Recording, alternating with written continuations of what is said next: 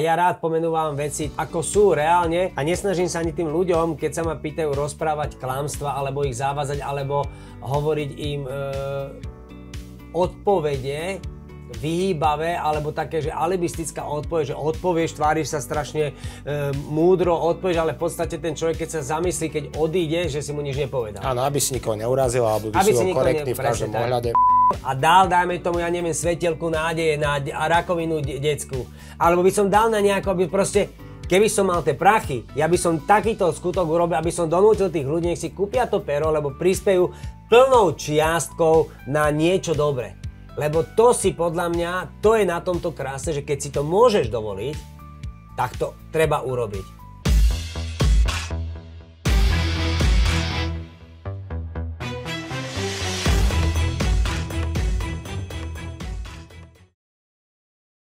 Vítajte pri ďalšom videokaste bez cenzúry s poradovým číslom 5 a ja som veľmi rád, že moje pozvanie prijal Maroš Molnár.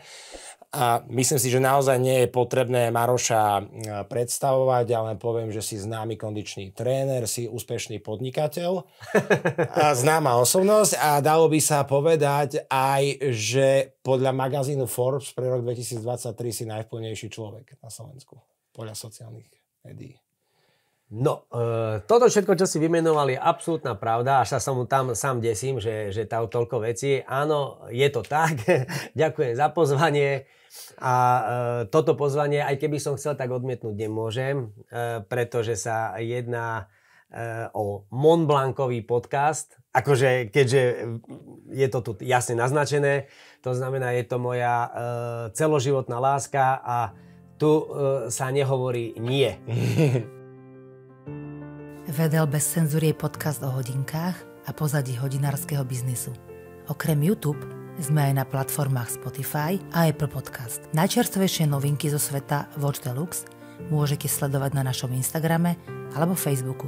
Ponuku luxusných švajčiarských hodinárských značiek nájdete na našich predaniach Watch Deluxe alebo na e-shope vedel.sk. Ponúkame vám profesionálny servis a objednaný tovar odosielame každý pracovný deň.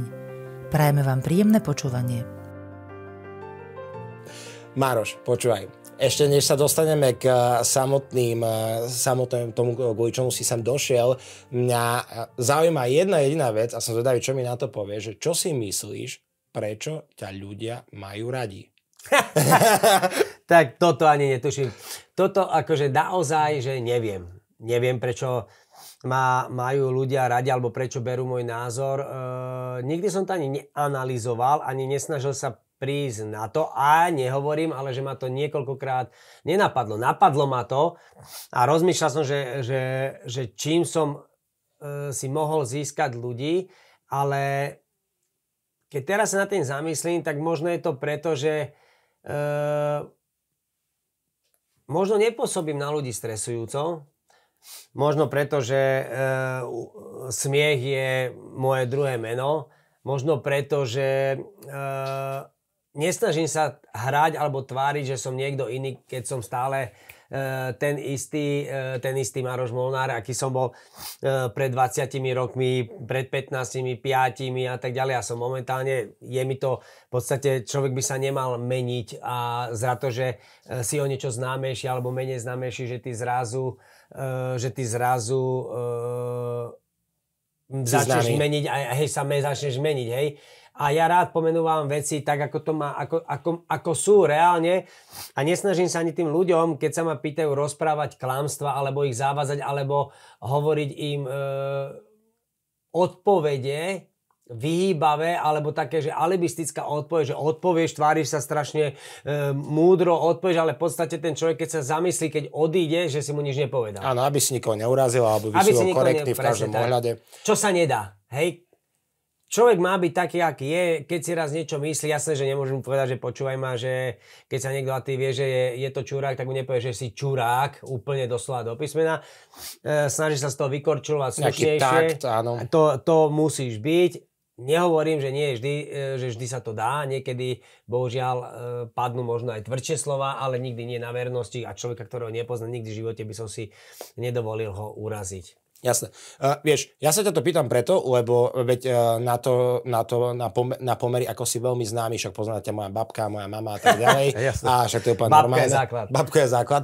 A ide hlavne tam o to, že proste akože všetci, keď sa s tými ľuďmi bavíš a proste poznajú ťa iba z obrazoviek, to znamená, že ten svoj nejaký názor si môžu vlastne vykonštruovať len z obrazoviek, tak proste, uh, a ja som s tebou uh, strávil pár dní, veď sme boli v Hamburgu, boli sme na návšteve manufaktory Mont Blanc, čo však k čomu sa dostaneme, čo bol super zážitok a tiež proste akože z Tamaďa som odchádzal, že ty si proste tak úplne normálny a, a obyčajný človek, akože rozumieš ma tým obyčajným, čo myslím, hej? že, proste, Jasne, že, jasne. že presne to, čo si teraz povedal, že proste na nič sa nehráš a on už to znie ako nejaké klíše možno, že, ale naozaj proste akože stále mám z teba ten istý rovnaký pocit, že ty si akože v tomto veľmi zaujímavý človek.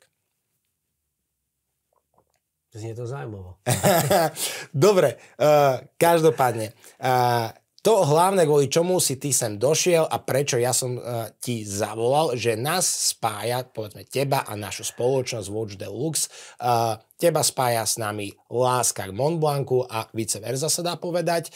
A Uh, ty máš rád značku Mont Blanc, čomu sa neskôr dostaneme, ako si, ako si za, začal, ale ja by som sa chcel vlastne uh, opýtať, že uh, takto, začnem tým. Značka Mont Blanc je nemecká spoločnosť, ktorá vyrába písacie potreby od roku 1906 až do dnešného dňa. V dnešných dňoch, neskôr v 60., 50., 60. rokoch, Mont Blanc začal vyrábať kožu, ktorú teraz vyrába v Benátkach, je veľmi kvalitná, čo sa mu uh, určite iste neskôr aj, aj oceníš. A neskôr v 95. začali vyrábať hodinky, čiže už sa nejedná čisto len o výrobcu pier, ale je to komplexný výrobca doplnkov pre, hlavne pre toho chlapa, to je dominantné vlastne postavenie toho Mont Blancu. Moja otázka, a ešte dodám, takým tým najsymbolickejším emblémom spoločnosti Mont Blanc je ich logo, čo je vlastne biela snehová vločka, ktorá symbolizuje permanentne zasnežený vrch Mont Blanc, ktorý má výšku 4810 metrov, 6 cípov, ktoré znázorňujú 6 údolí obklopujúci horu Mont Blanc. To je, tak som veľmi e, generalizoval a popísal značku Mont Blanc. Moja otázka znie, prečo Mont Blanc. Pretože, ešte doplním, máme tu Montegrapu, máme Carendáž, máme uh, ďalšie iné, Este Dupont a iné dobré značky. Prečo ty práve inklinuješ tomu Mont Blancu? Neviem prečo, uh, mo, neviem, cítim to, že asi prečo Mont Blancu, ale to nehovorím, že ja som si neprešiel aj inými značkami. Uh, ja som si prechádzal značkami, na ktoré som mal a sedeli mi v rukách a sa mi páčili cez cez Karandáž, cez Stylus, či ak sa volali, to bola moje prvá, potom bol, potom bol Karandáž a vlastne ešte tam bol Parker a potom prišiel Mont Blanc. A Mont Blanc ma oslovil kvôli jednej jedinej veci, jej neuveriteľnej konzervatívnosti, elegancie a krásy. To znamená, keď človek si chytí Mont Blanc pero a to je jedno, že či sa jedná o toto základné pero, tento majsterštík takýto úplný, alebo si zoberieš limitku alebo špeciálnu edíciu, tak to pero samo o sebe e, znie a vyzerá brutálne honosne a e, hneď sa človek musí do ňo zalúbiť, aký to má tvar. A to je jedno, o čo ide. A keď to očrobuješ a chytíš a začneš s tým písať, či to je ceruska, lebo ja mám ešte aj pentelku, hej, tak tým pádom to je radosť písať. A ja tým, že ja som vyrastal ako malý chlapec, som chodil do ľudovej školy umenia, kde sme malovali, kde sme kreslili a ja som si oblúbil vtedy e, tuš, e, lebo sme kreslili sa vtedy tušom, ja som kreslil, hlavne, sa mi páčilo, a ceruskou. A tieto, dva, tieto dve veci mi tak učarovali, že ja aj milujem preto plniace pero, Milujem preto cerusku hociakého typu. Musí byť pekná, musí byť e, z, z, akože dobre držateľná. A pero k tomu automaticky guličkové alebo iné prišlo automaticky k tomu. Ale Mont Blanc som si vtedy nemohol dovoliť, keďže e, keď prišla u nás Mont Blanc na Weidler, vo Weidleri na Rolandovom námestí, tak to bol obchod, ktorý ja som sa chodil pozerať. Robila tam teraz, nepomeň si, jedna pani predávačka, blondínka, z dlhých dielov, s ktorou som sa spoznal a skamarátil, lebo ja som tam chodil na očumovačky. Ja chodil očumovať perá a celý mesiace som šetril, aby som si prišiel kúpiť jedno a konkrétne pero. A takto som žil celú vysokú školu a moja žena ma išlo, išlo ju švicnúť, keď ja som zrazu sa rozhodol si kúpiť pero za tedy, tedy za 1600 korún, čo bolo akože mesačná výplata. A, aký rok, to sa nevieš? To? to je presne rok, to som bol, to, je, to bolo po 96. To som bol medzi, e, že som šiel na doktorát, na antropológiu, na prírodné vedy a vtedy ja už som chodil tam e, už v 95.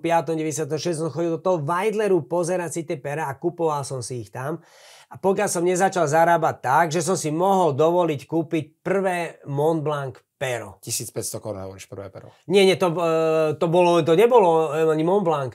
To bolo, neviem, nejaké, neviem, to bolo nejaké iné. Mont Blanc vtedy na koruny, na koruny stál, viac to stalo, Mont Blanc stálo okolo 4,5 tisíca korún a vyššie to bolo. To akože 4,5 tisíca tedy mesačne zarobiť bolo, že kamarátko to bol akože to som musel systematicky šetriť, aby som si to mohol kúpiť. Ale tam ma to dostalo, že proste mne sa, pa- ja milujem tvary.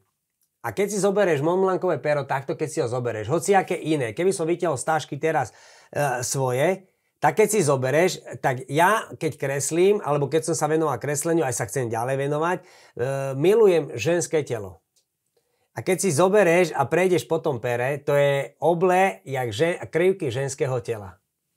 Okay, Rozumieš? Okay. Pera sú, e, v tom omlaku sú rozdielne, hej? Áno. Aj to egyptské je úplne iné.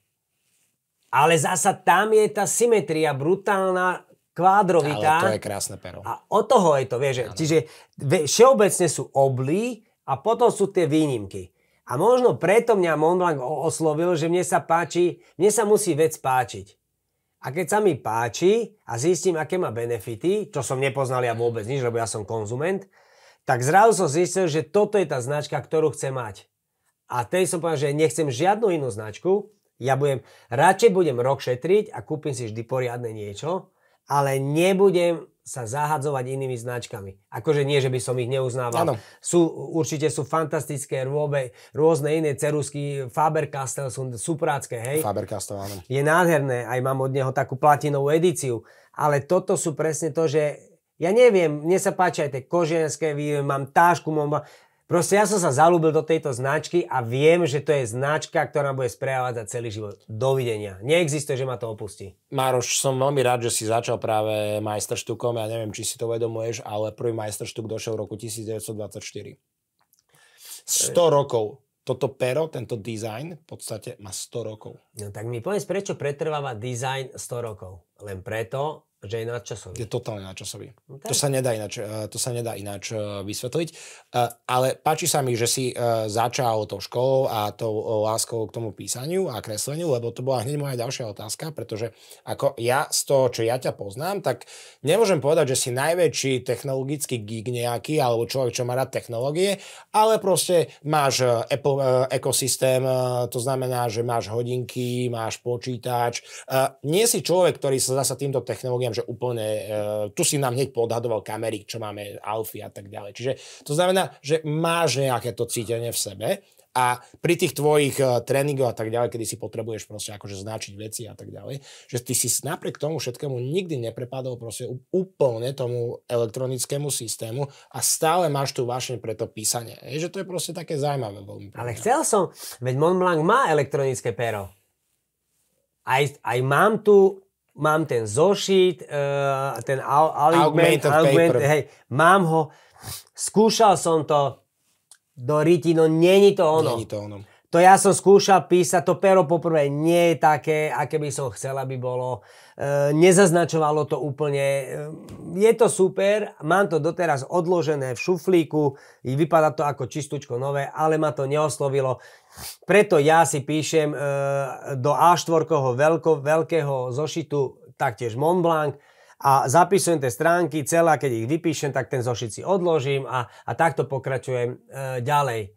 Hej, a to je, ale to je, vieš, ako, to je, to je, ľudia si povedia, že no, debil, nemá kde dávať peniaze, že kupuje si drahé, ale, ale to je ako niekto si kupuje, miluje auta, hodinky, ja neviem, niekto kupuje iné veci, ale chodí na drahé dovolenky. Ja zase tú drahú dovolenku nepotrebujem mať. Ja radšej by som si kúpil sadu pier. Ja radšej, keby som mal prachy na mega drahú dovolenku, tak ja miesto z tých 100 tisíc, keby, čo chodia niektorí ľudia, 50 tisíc na dovolenku, tak ja keby som mal tie prachy a môžem ich vyhodiť, že ich mi nebudú nikde chýbať, tak ja by som šiel do toho Montblancu a dal by som si personalizovať pero a dal by som si urobiť svoje vlastné pero, tak ako si ho ja predstavujem za, a tie peniaze by som tam šupol a dajme tomu to pero, keby som mal urobené, alebo tam si sme boli, tak oni tam povedali, že ty dostaneš neviem koľko kusov pier, nie? Podľa toho, akú tú edíciu si vybereš. Vybereš. Tak ja by som radšej tie pera kúpil si akože sebe, nechal ho predávať, nechal ho promovať. Mohli by som aj my predávať? To je jasné. Nechal by som ho promovať a ja by som normálne, že tie, keby mi, že tie peniaze, tak ja tie peniaze, čo sa z toho pera zarobia, ja by som ich chytil a dal, dajme tomu, ja neviem, svetelku nádeje na rakovinu de- decku. Alebo by som dal na nejako, aby proste, keby som mal tie prachy, ja by som takýto skutok urobil, aby som donútil tých ľudí, nech si kúpia to pero, lebo prispejú plnou čiastkou na niečo dobré. Lebo to si podľa mňa, to je na tomto krásne, že keď si to môžeš dovoliť, tak to treba urobiť. Veľa ľudí si to môžu dovoliť urobiť. Je tu mega miliardárov na Slovensku. Ale nikto neurobi to, že svoje peniaze investuje do takejto veci a zisk si nezobere a dá to na nejaké dobro, dobrečiny. Každý to odrátáva s firiem a tak ďalej, ale to je veľký rozdiel odrátať a darovať zo seba od srdca, lebo to chceš niekomu pomôcť. Jasné. To sú dve rozdielne veci. Áno. Uh, takže dá sa povedať, že na jeden, jeden z najväčších snov Maroša Molnára mať vlastnú edíciu Mont Blanc. Ale ja ho raz budem mať. Ja preto všetko urobím, aby som mal, lebo ja som sa tam zalúbil do toho, keď som bol v tom Hamburgu a to ma tak dostalo, že Dobre. akože OK, beriem to, beriem to a kľudne môžeme teda, lebo si sme celkom si myslím, že zaujímavo premostili práve k tej fabrike, teda manufaktúre, nazvime to tak. Manufaktúre, ktorá sa nachádza v mestečku Hamburg, v meste Hamburg teda, aby som bol presnejší. A povedz mi teda, lebo to je nový komplex, nový komplex budov, tá budova hlavná, kde sa nachádzajú všetky tie vystavené kúsky, okrem tých úplne prvých Rouget Noir, s ktorým došiel vlastne Mont Blanc, tak tá, tá budova pripomína pôvodnú krabičku, ktorá sa dávala v 70 rokoch, akože ktorý sa Áno, áno. Povedz mi, čo si pamätáš uh, a čo ťa z tej návštevy tej fabriky Mont Blanc ako tak ti najviac utkvelo v hlave? prvá vec mi utkvela brutálna čistota. Akože to ma dostali, to som, čakal som všetko, ale, ale toto bol vrchol. Druhé, z koľkých častí je zložená a urobí sa táto obyčajná špička, ktorá pôsobí, že je to že mega jednoduché, ale to má či 6 či 7 e, postupov, aby vznikla takáto špička. Po tretie, tá pani, čo sedela za tým plexisklom a robila ako keby špeciálny e, huslový kľúč, či, či aký to je, Tá zvukotesná miestnosť. zvukotesná mi- a ona cítila, že či to klže, Neviditeľný atrament. neviditeľný atrament, že či to má e, prítlak, či to má ten zvuk, či to má tú ľahkosť, Áno, áno, tak to ma dostal, to som neveril, že toto vôbec sa dá takto kontrolovať, to akože som bol hotový, to je akože vesmír.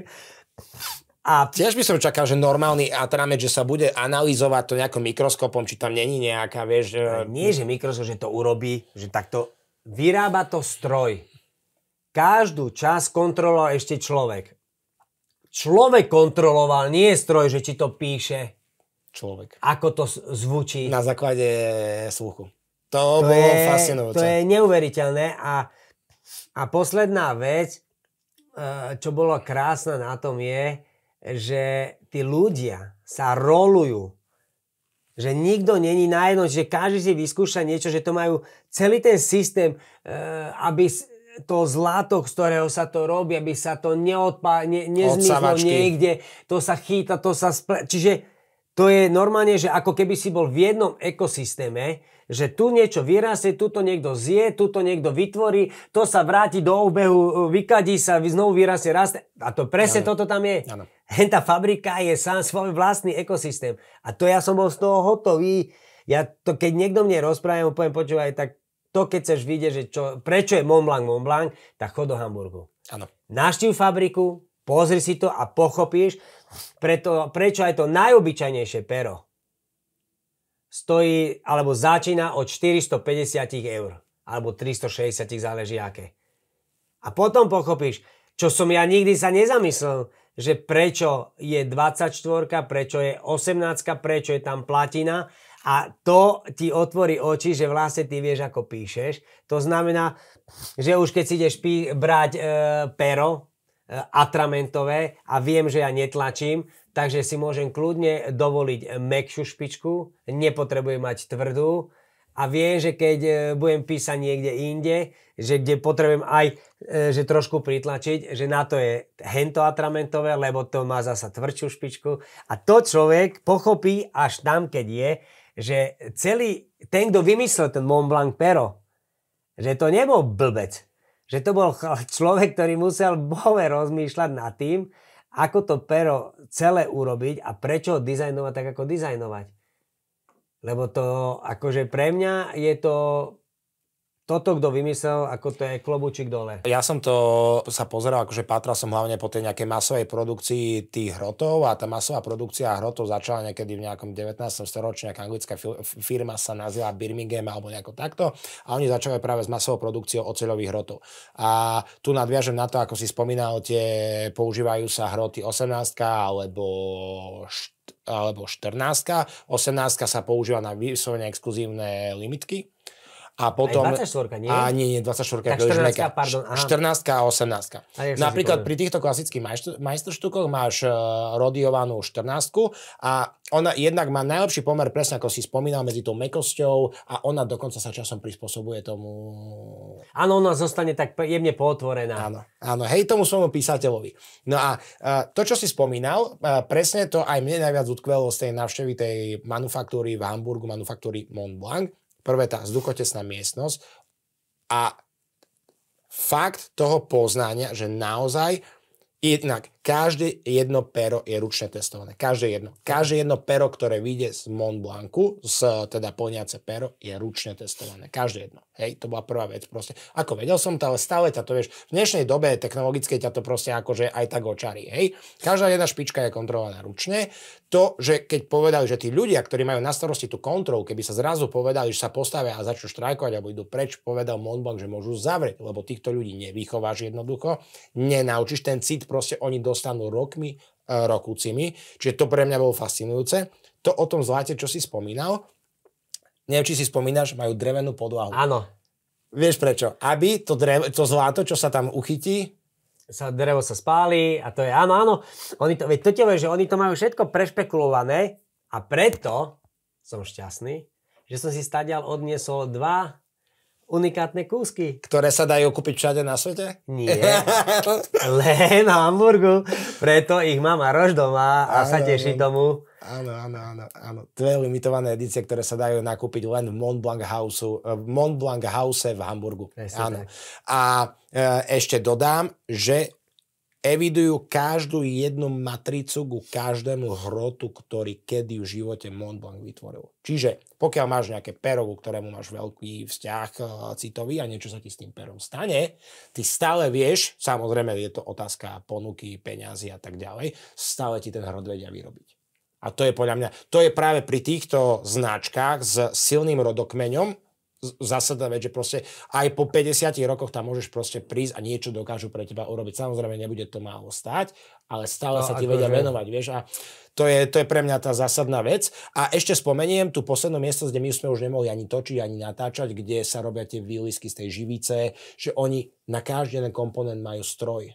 No ja mám eh, toho Jimmyho Hendrixa, nie? Okrem atramentového mám obidve a teraz, e, teraz propagovali limitku Jimi Hendrixa, ktorá bola urobená honosne, neviem čo. No, mne sa zdá, že to je, čo ja som si bral, to je vlastne limitka. Že sú honosné, že na presne tak, ako bol Mohamed Ali, e, či Jimi Hendrix, tak také je. Ale teraz oni urobili tú špeciálnu edíciu, niečo stojí niekoľko tisíc. Ano. A tak tá je honosná. To som skoro odpadol som sa pozeral na to a hovorím si, To nie je možné. Áno. Ale to som zasa, napríklad, to by som si ja napríklad nemohol kúpiť, napríklad, pretože e, ja som ti to raz hovoril, ja si kupujem perá, ktoré chcem nosiť a s ktorými chcem písať. Zásadná vec. Nemám rád pero, ktoré si ho položím Alebo do trezoru. a dám ho do trezoru. Tak s hodinkami, to je to isté. Ja to potrebujem používať, nosiť a hlavne ja tie perá nosím podľa toho, ako sa cítim. A používam ich tiež podľa toho, ako sa cítim. Čiže niekedy, nie, ja napríklad viem, že teraz som toho Jimi Hendrixa nepísal s ním no minimálne dva mesiace, lebo e, posledné mesiace píšem s tým egyptským. A e, majsterštúk pentelkou používam, lebo som sa proste, e, teraz je to obdobie, kedy e, mám používať toto pero. A povedz mi, len ťa preruším, dobre, používaš buď e, to egyptské s hieroglyfmi, alebo ma- používaš nejakú inú limitku. Čo to pre teba znamená vrátiť sa najsprv k majsterštuku? Je to také, že, že kokos, to je proste, to je to, to je ten chle, chlebík, kde to je ten dennodenný chlieb, to je to pero s tým, alebo ako to máš? Uh, nerozdeľujem asi ja, nerozdeľujem, že uh, či sa vrácia k základu. Ale ten majsterštík je taký, ako keby si sa, ja neviem, jak to nazvať, keď sa k niečomu vrátiš, napríklad kresleniu, tak vždy sa začínaš a začínaš od začiatku robiť čiary, e, prerušovanie, vlnovky, e, rozhybuješ celú ruku a ten majsterštík je podľa mňa taký absolútny základ, že, že vždy si na tom základ, že už ako keby som to povedal, už nižšie klesnúť nemôžem. Ale, nikdy, ale K nikdy, ho, nikdy, ho, nikdy ho nevymeníš. Proste vieš, že Nie. proste toto je, toto je proste Čo tak... si? To nie je, majsterštík je základ, to je, to je pero, ktoré môžeš nosiť stále a všade, hej? Hej. Uh, keby som to povedal, že úplne najhoršie, že, že asi toto by ma najviac sralo, keby som ho stratil, lebo viem, že by som si ho mohol dokúpiť, dá sa povedať, že okamžite, Ale nemáš to prepojenie emočné s tým perom. ale nemám. Nemáš. By ma, nemáš. to, by ma hnevalo a neviem, či by som si dokázal kúpiť znovu uh, to isté Áno, pero. Hej, chápem, chápem. Že, že ja si to pera nekupujem, že, že ja to pero, koľkokrát, aj milé som išiel, uh, keď som si kúpil to egyptské, bral, tak som nešiel, že idem kúpiť egyptské. Ja som našiel za úplne iným uh, zónom, neviem, že som uh, Kubovi nekupoval niečo a medzi tým som tam uh, sliedil po vitrinke a zbadal som ho a rozhodoval som sa medzi tým tou edíciou, ktorá sa používa, ten výťažok je na charitatívne UNICEF. to UNICEF a Ten egyptský... majsterštuk s tým rubinom. Áno, áno, áno, áno. Či čo to je. Presne. A, a rozmýšľal som, že teda ten alebo ten, ten alebo ten, že do čerta, že ktoré, že aj to je pekné, to je pekné.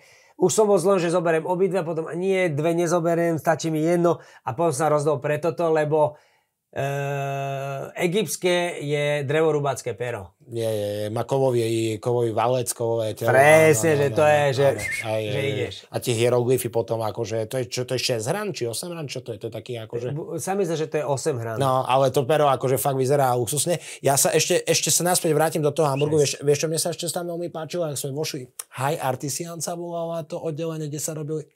Keď sme vošli, keď nám otvorili tie uh, sklenené dvere a vošli sme do tej divízie, kde proste robia kde budú robiť pero Maroša Molnára v budúcnosti. Jak sme vstúpili do tej miestnosti, ja normálne tam podľa mňa pozadí už Lacrimosa od Mozarta mohla hrať, že a keď tam nám začal ukazovať tie Da Vinciho mramorové veci, Ježiš, ten dávam, ježiš. Boha, Pamätáš si na to tie pera, ktoré nikto v živote ani nevidel, mimo tých ľudí, ktorí tie pera majú doma. Tam som, tam som sa tedy pýtal, lebo ja milujem uh, Michelangela Bonar, Bonartyho, Sochára, Sixtínska kaplnka, uh, Dávid.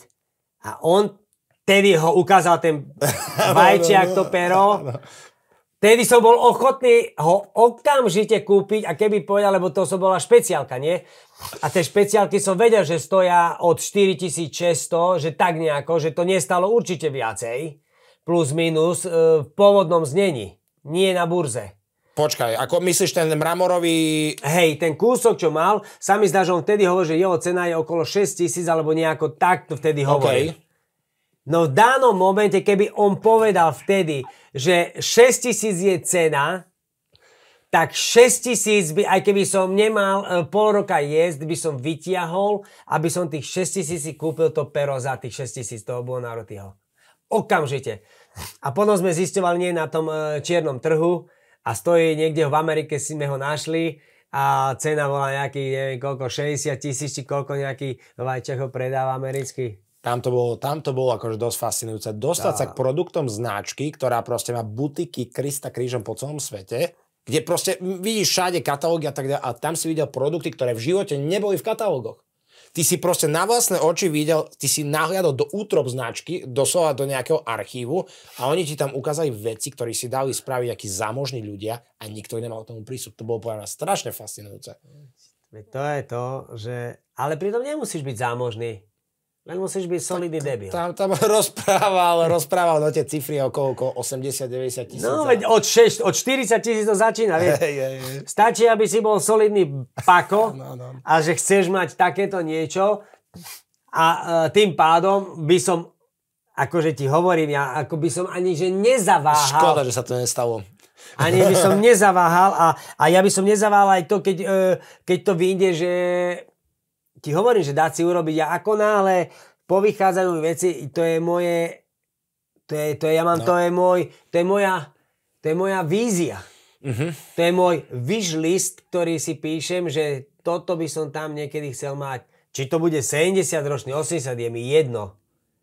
Ale tam pôjdem na To to, ti jedno- spravíme v Montblanc butiku v Bratislave v Auparku vlastnú vitrinu tomu za, a oblepíme celý Aupark s tvojimi... to je, to, ja sa toho, ja na, preto žijem, to ja mám pevne v hlave, to ja sa tejto myšlenke nehodlám ani vzdať.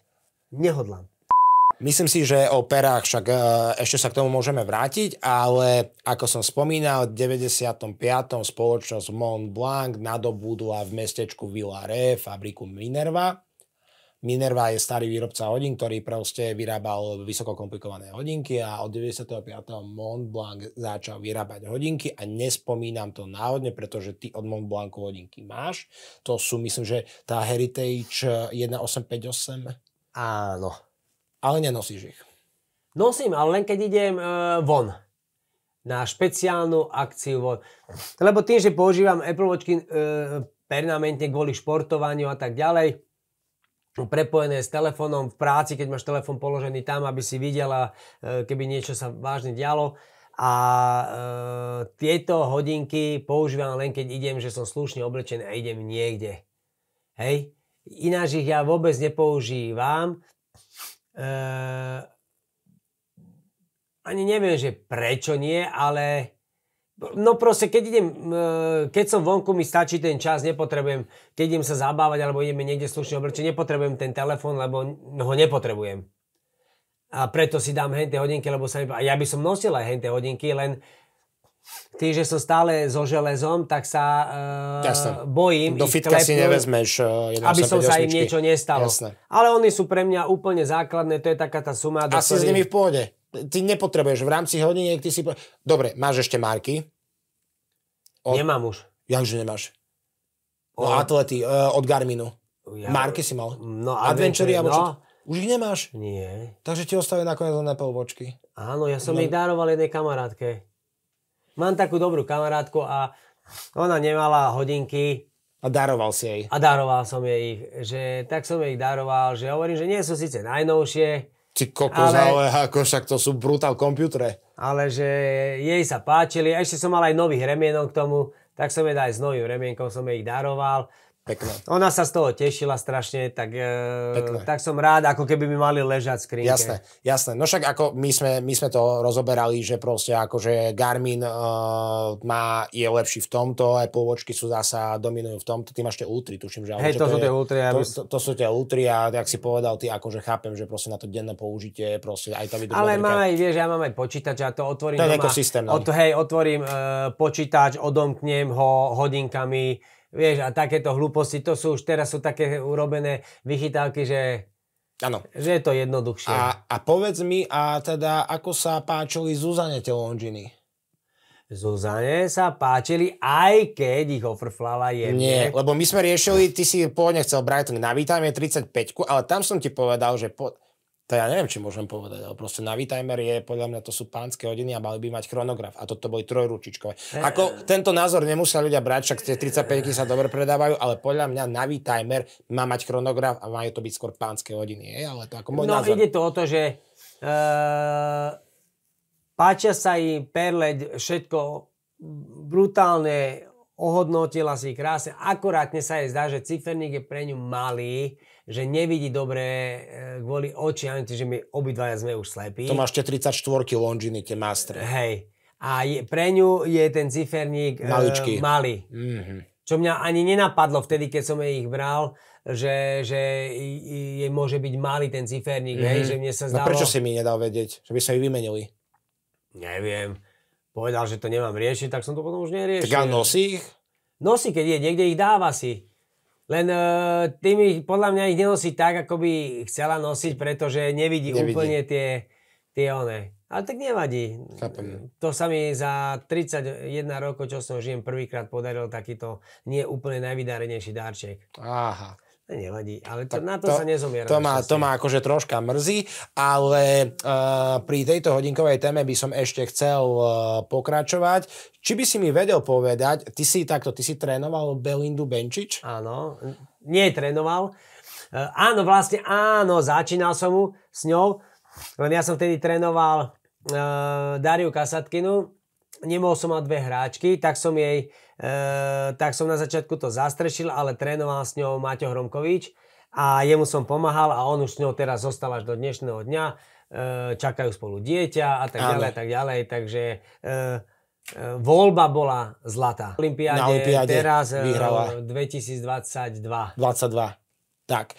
A viem, že, a ty si mi spomínal, že sa stala ambasadorka pre Rolex a tam nejako vieš, ako to fungovalo, alebo ne, nevieš na to pozadie, že či Rolex prišiel za ňou. Že... Rolex prišiel za ňou, uh, ponúkol jej, keďže Rolexu je rodinná firma, uh, to bolo zaujímavé, že skôr ako si ju vybrali, uh, tam ona hovorila, že prešla nejakou sériou dotazníkov, musela odpovedať na otázky, prečo Rolex uh, a tak, no proste tam, ona hovorí, že to bolo veľa, veľa, veľa otázok. Tak psychotesty až? Nie, nie, že proste na, na také veci sa ťa pýtajú, že oni si vyberajú, podľa všetkého si vyberajú uh, človeka, ktorý je lojálny k tej značke, alebo bude lojálny k tej značke.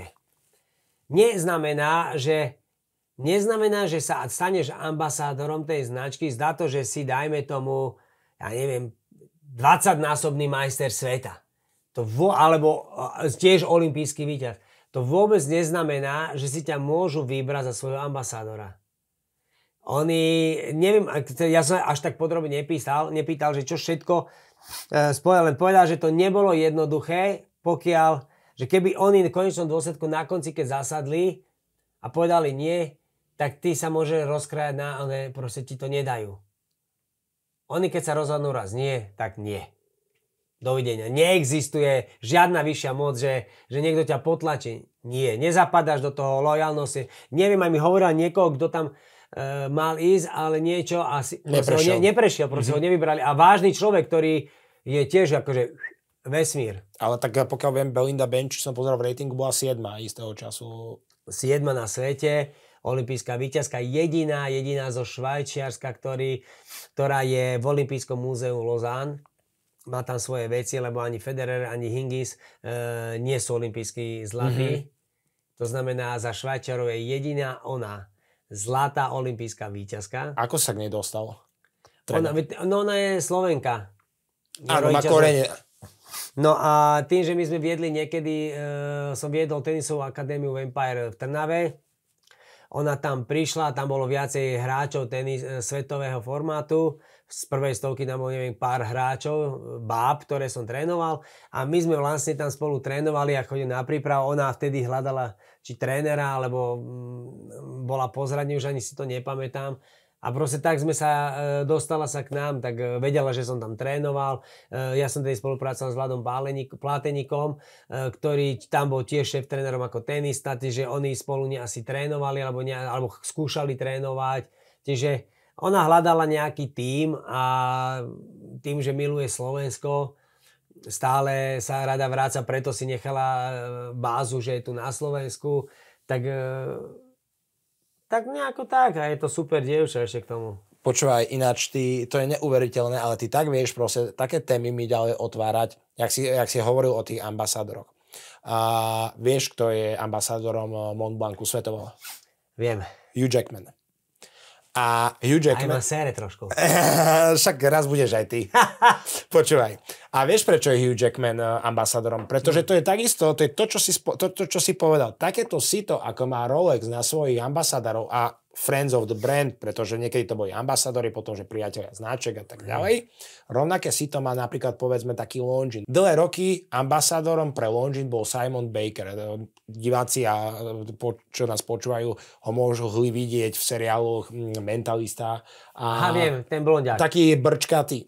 A to isté napríklad, e, to isté napríklad e, tento Hugh Jackman, ktorý nemá absolútne žiadne škandály za sebou, má jednu manželku už 25 rokov, alebo koľko, má dve deti, o ktoré sa viac menej príkladne stará, teda nie viac menej, o ktoré sa príkladne stará.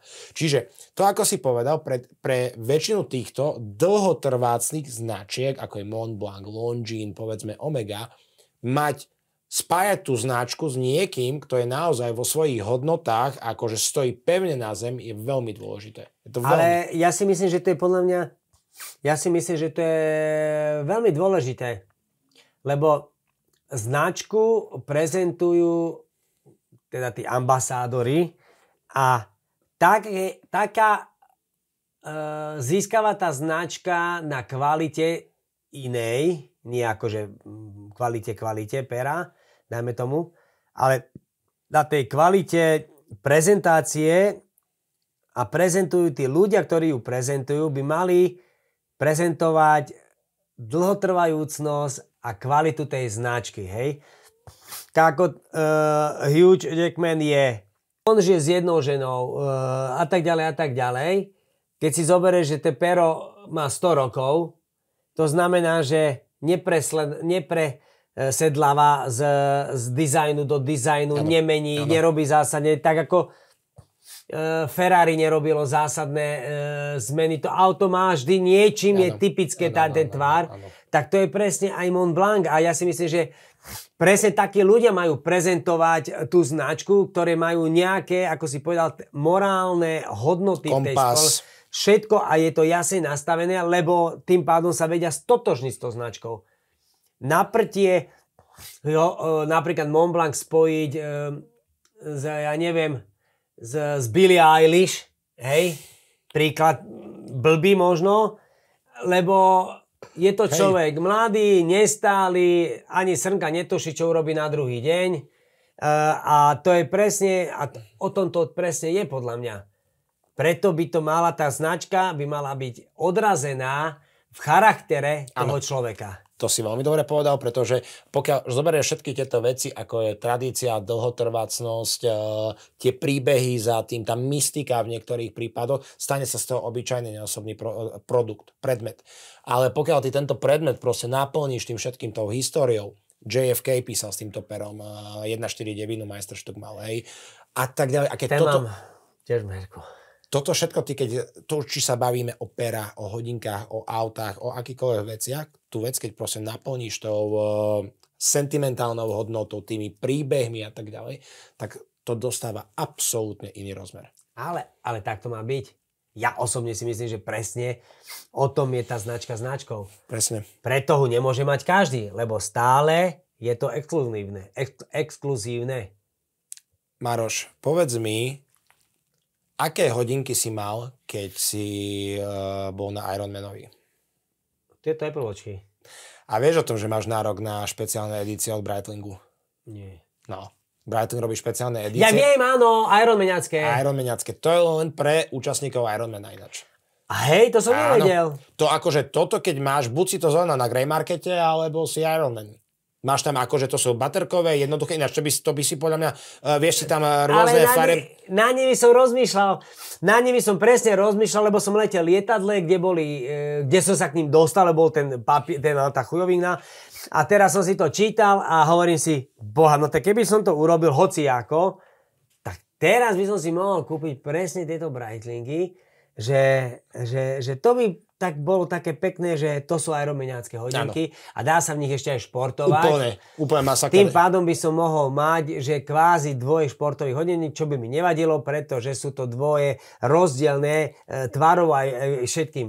ľahučké sú, máš tam super kvarcový strojček, to znamená, že baterka ti tam vydrží 10 rokov cca, alebo má nejaké termoregulačné čidla, Chronometer. Jedine Breitling testuje svoje baterkové hodinky nezávislým inštitútom COSC, ale to je úplne irrelevantné. Každopádne sú určené len pre účastníkov Ironmana. Na pozícii dole na šestke máš také ičko, však čo máš na Viem, bunde, no. čo máš na bunde.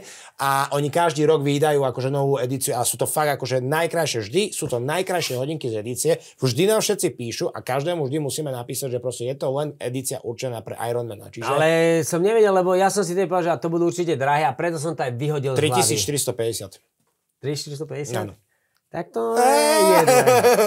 No, není to až také, není to až také. A hlavne, vieš si tam uh, nakúpiť, uh, máš uh, červené remienky, oranžové, biele a tak ďalej a tak ďalej. Čiže vieš si tie hodinky akože fakt personalizovať a podľa toho, akú chuť na akú farbu máš, si to vieš proste zladiť. Dobre, to znamená, že ty vieš... Uh, Napíšem do Breitlingu. Uh, Chcem vedieť, ja sám chcem vedieť, ešte som nemal po ruke Ironmana, chcem vedieť, že aké sú podmienky, že čo mi Breitling na to napíše. dobre, veď ja, ja ti uh, ukončenie mám. Máš to, máš niečo, nejaký Jasné, veď to je oficiálny paper. oficiálny paper. No, ja si myslím, že niečo takéto budú chcieť pre, niečo také budú chcieť akože A doložiť. dokážu a tým pádom oni keď pôjdu a dajú si moje meno s mojím číslom, veď ja to mám všetko odložené na, na, na oficiálnych výsledkoch, tak tam, tam to všetko nájdú. No, tak to by bolo super. To by bolo super, to, to hneď uh, napíšem. Uh, ešte sa ťa opýtam teda, uh, neviem, aj keď uh, si mal niekedy nejakých týchto zverencov, tak uh, nejakých hokejistov a tak ďalej, s ktorými si však aj, aj trénuješ, aj vo voľnom čase. Uh, sleduješ týmto ľuďom, čo majú na rok, ale, ale ty, ty fakt nie si vo, vo. Nie. Ty proste toto... A ja ty... vidím, že niekto má nejaké hodinky, ale ja ani neviem, čo to sú za hodinky, vieš. Mňa to, to mňa nezaujíma. Ja, e, aj keby mi povedal, že mám omegy, mám nejaké turbilióny, či čo to, vieš, ale ja ani netuším, že čo to je. Mňa to, toto sú veci, to je tak ako, že videl si to auto? Hovorím, že jaké auto? No hento, tak ty kokos, to je najnovšie. A hovorím, frajer, čo ja viem, má 4 kolesa, má. Či to je M6, biturbo, neviem čo, na kvadrát, mne je to úplne že jedno. Pre mňa je auto prioritne, aby ma odviezlo a aby malo veľa priestoru. To znamená, Aktívny životný štýl máš. že, že mne to auto nehrá takú rolu. Pre mňa nie je to auto tak strašne dôležité, že ho musí mať. Že ho musí mať nejaké najnovšie, najnovšie, najnovšie. Kdežto, keď som žil uh, viac rokov dozadu, tak som žil pre nič iné, že som celý život, celý rok robil, aby som si uh, vyšiel nový komp, Appleácky, a hneď zápäti som starý komp posunul v rodine a ja som si kúpil nový. A toto som dokázal takto rolovať XY rokov. Každý rok, keď vyšiel No keď vyšiel, no, no tak nemal som ho rok. M1, M2 napríklad procesor. No, keď vyšli, keď iPady som mal, dá sa povedať, že ja keby som iPady, e, tak ja som mal prvý iPad, čo vyšiel na Slovensku, mm-hmm. čo prišiel na Slovensko e, so software partnerom. Tedy som dostal prvý, e, znížil som, kúpil druhý, bol vyšiel novší, som mal e, tretí, potom som prišiel do, som chcel mať zrazu mini, potom som, že to je hlúposť, vrátil som sa k veľkému, potom som chcel mať 13 monitor, tak som si zrovna prešiel som tam, som tam 15 potom som, že to je úplná hlúposť, tak Air a Hair je ešte väčšia. A nakoniec som sa vrátil k, k, k, k Pročku, Macbooku, čo je najväčšie, lebo je veľká obrazovka pod, ale mám k tomu iPad 12.9, ktorá je ako Airbook, ktorý používam na také, aj, aj ten nosím stále so sebou, lebo tam sa dá robiť ako na počítač a keď to otvoríš, tak sa ti to všetko synchronizuje. Ale toto, na toto som debil. A ja som ináč na začiatku povedal, že, ma, že si nemyslím, že si až taký veľký geek a teraz si to vlastne vyvratil. V tomto, ja mám také úchylky Áno, niektoré, áno, isté tieto. ale už o tom, ako som bol, ja neviem, 5-6-7 rokov dozadu, tak to už taký nie som. Mhm. Tam som bol úplný, že majsterštík, jak hovado. Mhm. Teraz už som, už som tak polávil, už nie som úplne, úplne, že musím, musím. Už teraz viem vydržať s jedným kompom aj 3 roky. Takže, e, takže som takom, že už takom ustalený, ale to preto, že stárnem, tak sa ustalujem aj v týchto hlúpostiach, ale prichádzajú nejaké nové veci. Vieš, vždy niečo príde, čo ťa musí nadchnúť. Ja ešte, vieš čo, ešte, ešte by som sa chcel na chvíľočku zastaviť, neviem, či si si všimol túto taštičku, to sme jasne. objednávali minulý rok v Paríži. To sme boli vlastne na výstave a ja som tú tašku musel proste objednať, lebo mňa ten dotyk tej kože, akože tu ani, jednak páči sa mi farba, lebo je proste z typické kolekcie. Montblanc je, je zvláštna, hej, je fakt zvláštna, ale tá táška na dotyk, tá koža je proste úžasná. A ja neviem, s akými, akými značkami ty máš ešte skúsenosť v rámci kože, že či proste, či čisto len Montblanc, alebo si mala niečo iné, ale proste tá koža je podľa mňa fascinujúca v rámci Montblancu. Ja, ja, keď som si začal kupovať tášku, tak ja mám jedine Mont Blanc. Nemám nejakú inú značku ani s kožou. Uh, Zuzana tam má Gucci. Mhm. A, ale neviem, že či, on, či má, nemá ako čistú ko- alebo má možno koženú, ale to som si nechytal, mm-hmm. to ma akože nejako netrhá. Ja som neprepadol tým značkám uh, LV, Gucci a tieto ostatné one srákoniny. Ja som, ja som spokojný, to čo mám odeno a nemám, mám, ešte mám jednu takú ladvinku nejakej značky, ale nepamätám si, aká je to značka, tiež veľmi pekná, kvalitná koža, ale e, koža musí byť na dotyk, ako si ty povedal. Mňa oslovuje len taká koža, ktorá je na dotyk, že, jak sa to povie, jak predkoška. Skús, skúsi, či... No, no a no, to je presne ono. Presne tá koža musí byť presne Že, taká. že má taký... Toto je ženská. No, Mužská? uh-huh. Bátok si, no tak ako... Asi muž, neviem, neviem, si sa, neviem sa seba predstaviť. Ale, Toto je- á, no, tak á. uh, dobre, predsa, ty, on je to skoro moda parížský ulic, hej, čiže, ale tuto zadu máš klipy a vieš si z toho batok spraviť. Hej, taký na business trip, jeden dňový, dáš tam košelu, dáš tam notebook a tak ďalej. Je veľké logo, ale hlavne som chcel tú kožu, aby si si chytil. Koža je parádna, ale to je taká istá, ja mám hentu počítačovú. Áno, To je, to je podob, veľmi podobná e, kvalita Solid Grain, tuším, že to je, Hej. že jemné zrno, úplne Akože to je veľmi, akože táška, táto je veľmi pekná. vypracovanie, detaily. No napríklad Zuzane som kúpil uh, tú veľkú otvorenú Áno, Mont Blanc. no, no, Nie. no, no. Doniesol som mu domov a hovorí, á bože, otvorená, len túto takto prepí, nie? Áno. Hovorím, dobre, veď to máš taká, že ideš do fitka, vieš si tam dať tenisky, dáš si tam Rýchlo hodíš, počítač, mobil, hocičo. a ideš. Teraz bez tej tašky sa nepohne ani na krok. Či má tepláky, či má montérky, či ide, ja neviem, po vajcia do obchodu, tú tášku nosí stále so sebou. To je jediná táška, ktorú nosí takto, odkedy som jej ju kúpil, 2-3 krát nosila a teraz chytá takú úplnú, akože úplnú, že Patinu? takú patinu, mm-hmm. že brutálnu. A ona celý čas tú tašku nosí a keď, a keď som jej to hovoril, tak ona hovorí, že toto je najlepšia taška na nosenie pre ženu, ktorá e, chodí cvičiť, ide do obchodu, lebo ty si tam dáš, e, keď si dáš to, tenisky do púzdra, hej, a šupneš to tam, máš tam DR, máš tam telefón, lebo je tam bočné vnútro jedno otvorené púzdro, tak ako keby systém toho Daffybeku. Áno. Všetko tam nahádže, ideš do obchodu, drbneš tam rožky, jogurty, toto, šupneš to na plece a ideš. Tá táška Drží tvár. vydrží všetko. Áno, áno. Uh, myslím si, že ne, uh, nevieš, aká tam bola cenovka. Uh, koľko? 6? Nie viacej. Viacej. 1100 alebo tak nejako 1100. 1300, 1100. Uh-huh, uh-huh, áno, ale uh, myslím si, že s týmto modelom, uh, myslím si, že s tým modelom došiel Louis Vuitton. Akože Áno, Louis Vuitton má takú jednu podobnú tašku, áno, ale to není originál koža, to neviem, či to není umelina. To je, to je značka, francúzska značka Coyard, to ro, e, robí, e, oni tiež používajú, to je tkanina. To je, to je taký materiál synteticky vyrábaný. Aha, to není no ale to sa mi koža. nepáči. To není koža, to je... To je, to je, také môžu nich predávať. Áno, áno.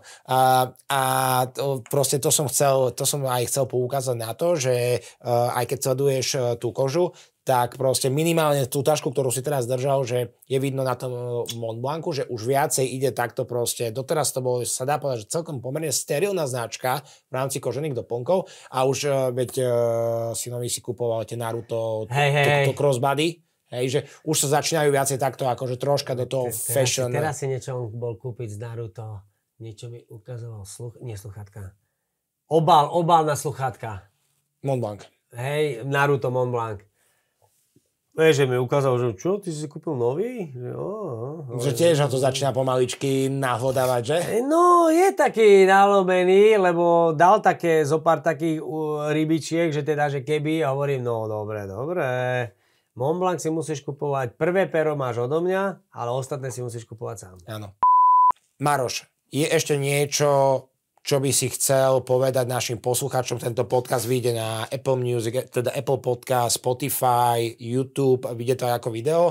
Uh, máš niečo, čo by si chcel, proste čo si poslednú dobu nikde nepovedal, chceš to povedať u nás? Či máš nejak, niečo špeciálne, akože je to samozrejme na tebe? Nie, nie. Uh, uh, mňa, mňa naučil život jednu dôležitú vec že lepšie si kúpiť jednu vec naozaj poriadnu ako 10 vrákov. A keď raz vyskúšate pero Mont Blanc, tak ja vám garantujem, že iné pero chcieť nebudete. Ale niekedy na takúto značku človek musí dozrieť, aby si ju vedel správne vychutnať. To je všetko. Maroš, uh, veľmi pekne ti ďakujem za tieto slova. Veľmi sa teším na špeciálnu edíciu Mont Blanc by Maroš Molnár. Ešte desiatky rokov vydržíme. Trebars, ja len dúfam, že my budeme pri tom, že to minimálne pom- zastrešíme, pomôžeme to zorganizovať. A veľmi pekne ti ďakujem za to, že si si našiel čas, lebo podľa toho, čo všetko robíš, aký si človek, je evidentné, že toho času ty na rozdávanie proste nemáš Proste človek, aby, sa, človek, aby robil to, čo robíš ty, naozaj proste by potreboval ten deň nafúknuť. Napriek tomu všetkému si vážim, že si tu prišiel za nami, že si nám poskytol tento úžasný e, rozhovor. Tento rozhovor si aj vy budete môcť e, teda vypočuť na všetkých e, platformách. A ja už teda ešte raz ďakujem ti krásne a teším sa potom eh, pri ďalšom rozhovore, keď dojdú nejaké novinky, po prípade, ak by si mal teda chuť ešte, keď niečo dojde nové, zaujímal by ma potom tvoj názor keď budeme mať nejaké špeciálky, limitky a tak ďalej, som sa o tom porozprávať. Takže ešte raz ďakujem ti ja pekne a uh, dajte nám odber, ak sa vám tento tento videopodcast páčil, dajte nám odber, dajte nám like. Ďakujeme krásne a vidíme sa pri ďalšom videu. Čaute. Taká.